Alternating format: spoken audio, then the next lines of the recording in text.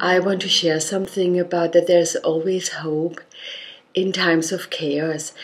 I strongly believe that nothing happens for no reason. So I what what I mean is I think everything happens for a reason and we're always tested by events out there where every body is a player in the bigger game and brings up certain lessons to learn and also a certain reflection where we are in our development and in our growth.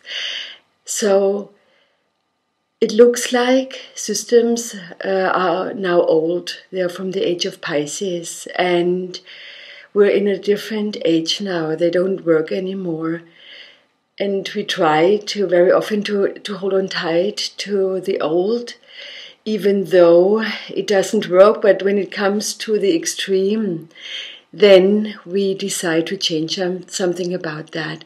And it looks like that we humans uh, are still collectively thinking that we learn better through suffering than through joy.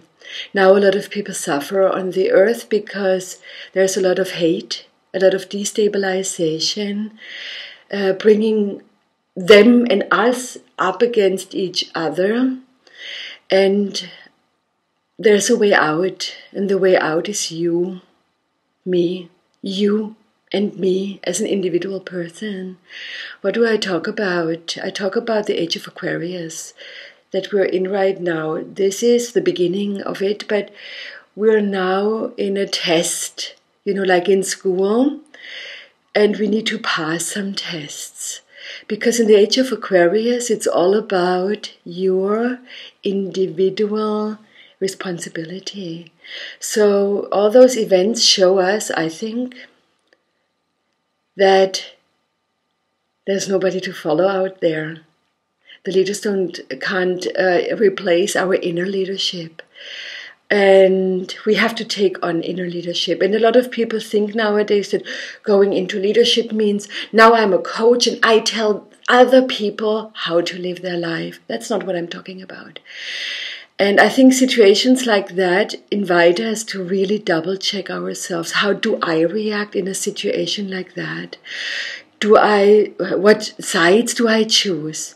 And do I participate in bringing up anger, hate, and I'm against this and I'm against that, and this is the right person to go for. Maybe there is no right person sometimes. The only right person might be you. If you wake up and you start to think and you try to take responsibility for yourself. Because movies like, you know, Lord of the Rings, they were not just popular because Aragorn was so hot, which is on a different um, piece of paper, it also uh, shows that the smallest person, like Frodo, yeah, he could change the world. So if you consider yourself the smallest person and you think you you have to live with it with it, you can't do anything about it. That's not true. And I think those events are important to see how am I actually dealing with it. That shows me a lot about myself. Am I one of the people who distribute fear, anger, and hate too? Or do I use a situation like that in order to elevate my thinking, in order to create hope and a new perspective? Because I can complain about everything and not doing anything, I offer some solutions. So, my solution is that you take responsibility and believe that you're not too small and you, you can do something and that it's not about them and us. You know, we always have that in families too and also nationwide still, which is very interesting. Obviously, we need it as humans, um, that we bond with somebody by, ha- by hating somebody else, by creating an enemy instead of bonding directly. So imagine that, or you know, you're them for somebody else too. You know, oh, those, they have done that and they are like this. You are that they for them too. So I think it's time not to do it through enemies and not to do it through hate. There's a German saying, stell dir vor, sich Krieg und keiner geht hin.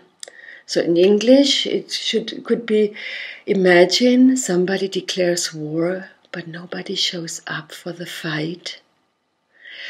So I think you can only learn something here when you reflect on yourself.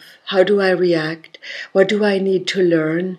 What do all those people stand for? Those politicians, those systems, and so on. What does that have to do with me? And how can I elevate my action, my thinking, my true leadership so that I can create a difference that is creative? You know, something creative always comes out of something destructive. It has always been like that. And I know I've been told that my approaches sometimes are a little bit ahead of time. I'm not sure anymore because I think it's up to us, to every single person, not to make that ahead of time, that kind of thinking, and whatever that means for you.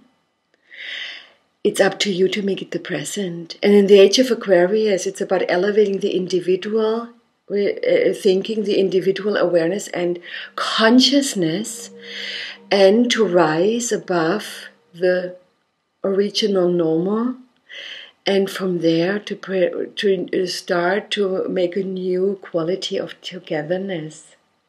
In the age of Pisces, the last 2000 years, it was the opposite. The individual was more denied, and we did it together. Yeah. So think about what that does with you. I know that was a little bit longer, this thought, but I thought it was worth it. And you let me know your thoughts.